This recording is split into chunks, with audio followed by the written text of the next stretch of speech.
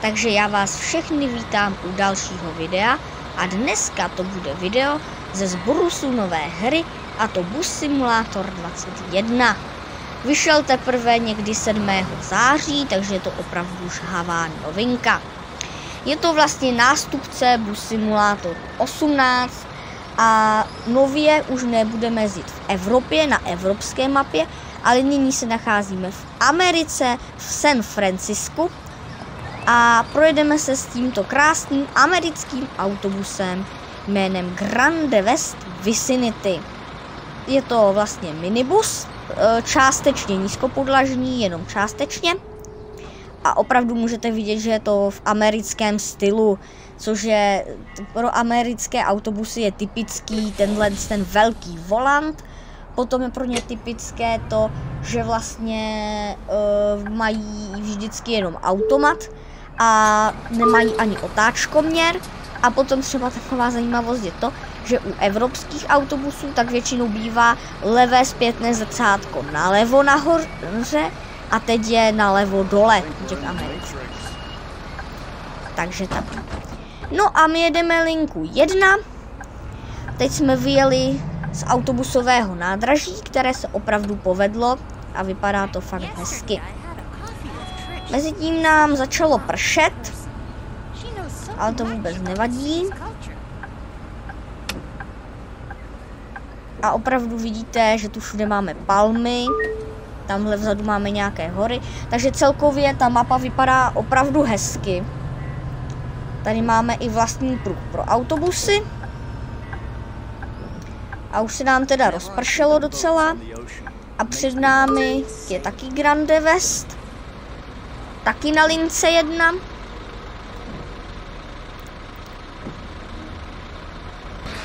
Tak, teď už odjel. Konečně. A na zastávce teda opravdu hodně lidí, tak snad je poberem všechny. Ale já si myslím, že asi jo. No jinak, e, co se týče minimapy, tak teď je kulatá. Je nalevo dole, ale taková kulatá a vidíte na ní i ostatní autobusy. Takže když uvidíte někde takovou červenou třeba, nebo je to v různých barvách, hýbající se šipku, tak to je autobus. Tamhle třeba teď vidíte červenou šipku, takže tam je nějaký řidič na té zastávce. No a teď pokračujeme na naši třetí zastávku, teď vlastně zase objedeme ještě ten autobusový terminál, teď je nalevo. A máme tady i jízdní řád samozřejmě, to taky můžete vidět.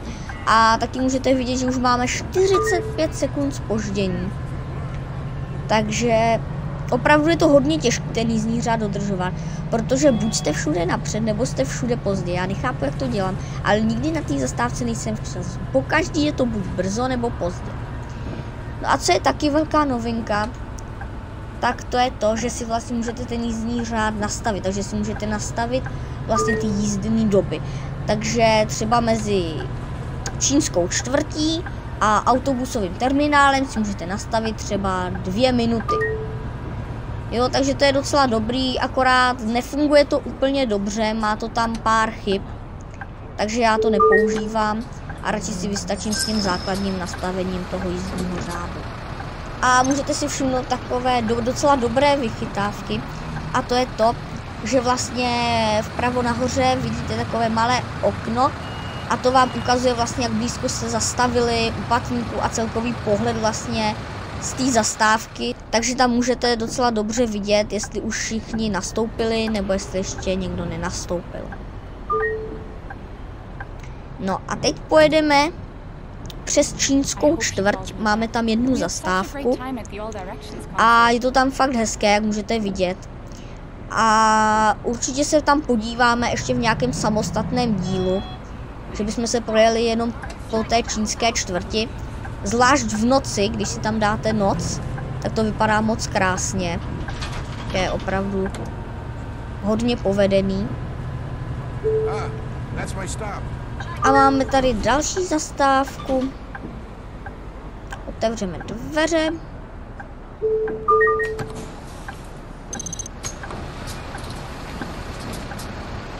No a teda máme jednu minutu spoždění, no. Ale tak to většinou ještě nevadí, jedna minuta. Tak, koukám, že nám někdo blokuje dveře. Zase se nám někdo ve dveřích. Nejspíš. To je hustý, jak je ta paní zaseklá v těch dveřích, to je vtipný.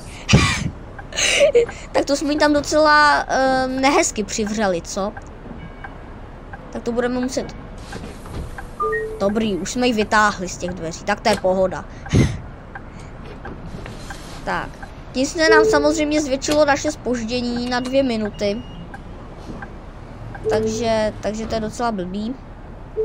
No ale tak. Za to nějak zvládneme. Nalevo vidíte nějaký kostel.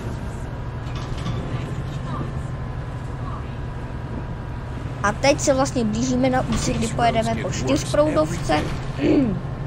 A potom ještě, uh, pak už vlastně pojedeme chvíli i po dálnici, takže to konečně trošku rozjedem. A třeba i doženem nějaký to spoždění. Tak, před náma je nemocnice.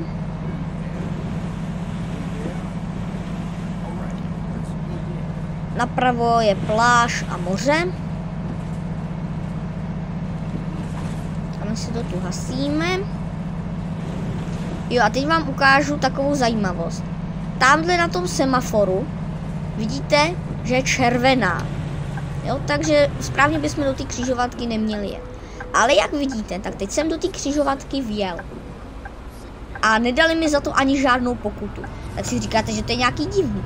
Jenomže Americe, i když je červená, ta, tak smíte odbočovat doprava. Takže opravdu to jsem si nevymyslel. V Americe můžete odbočovat doprava na červenou. Nevím, kdo to vymyslel, mně to přijde jako je hodně divná věc, ale opravdu, věřte mi, je to tak. No, tak po dálnici se moc dlouho neprojedem, protože už tady musíme zase sjíždět. Tak a teď se nacházíme v takové průmyslové oblasti. Asi jo. Tady vidíme stožáry vysokého napětí. Takže opravdu ta mapa je udělaná hodně detailně a vypadá to moc pěkně. Nalevo jsou autobusové garáže, ty jsou hodně moderní. Do těch se taky určitě podíváme v nějakém, v nějakém dalším díle. Tak co, už máme jenom minutu spoždění, no tak už jsme to trošku dohnali, jak jsme jeli po té dálnici. Tak. tak se možná podíváme ven, jak to venku vypadá.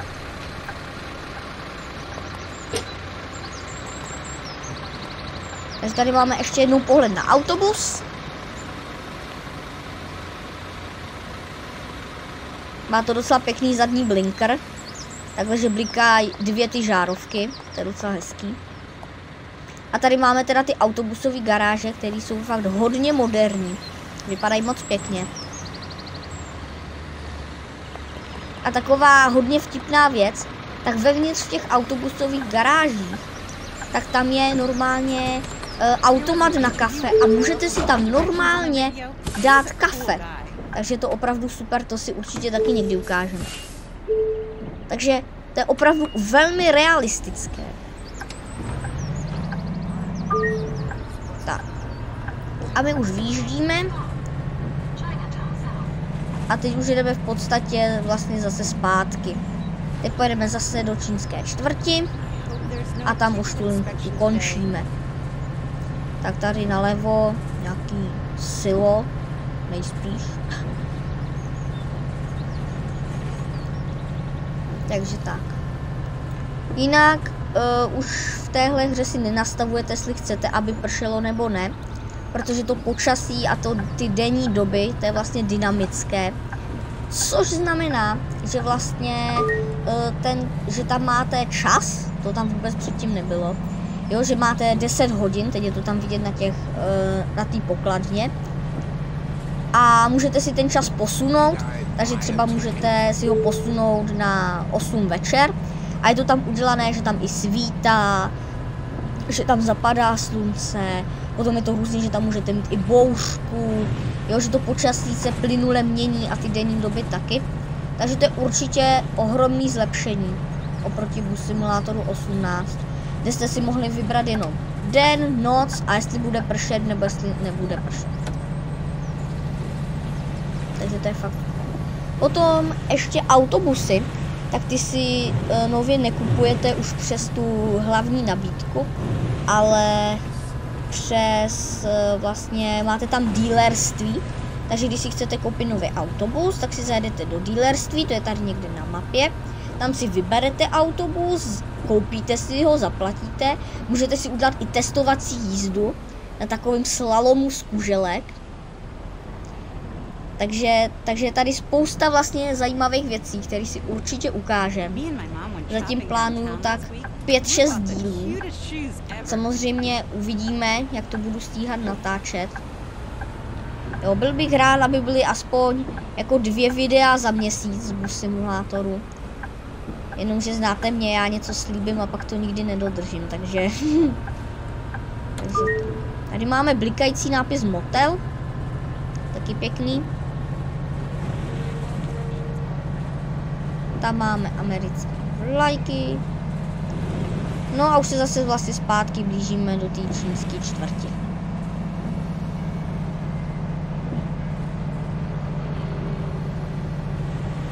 Tak, zase nám tam blikla červená.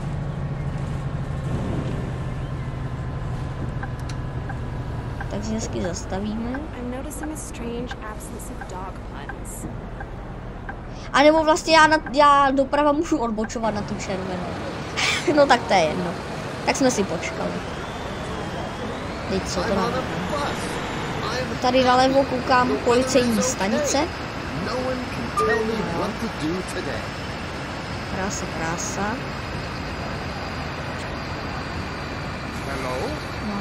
A fakt můžete vidět, že ten autobus je opravdu strašně malý. Nevím, jestli jezdí v Česku nějaký takhle malý autobus, možná uh, asi jenom Solaris Urbino 8,9, ten jezdí v Praze. A ještě potom je asi nějaká malá sorka, 9 metrová, asi jo. A příští zastávka už je naše konečná takže se pomalu, ale jistě blížíme ke konci. No tak si můžeme říct, co uvidíme příště. Takže příště se můžete těšit na video s obřím kloubovým Mercedesem Capacity L. Takže jsme tady měli nejmenší autobus ve hře a příště si vezmeme nejdelší autobus ve hře. Takže, takže tak a pojedeme na hodně dlouhé lince a kde jezdí hodně lidí. A když to půjde dobře, tak udělám i zase nějaký rozhovor uh, s panem JG, který už se správně nemenuje pan JG, už si vymyslel novou přezdívku Hackpost. No a to už je všechno, já doufám, že se vám dnešní video líbilo, budu rád za like, odběr nebo komentář, mějte se krásně a na viděnou.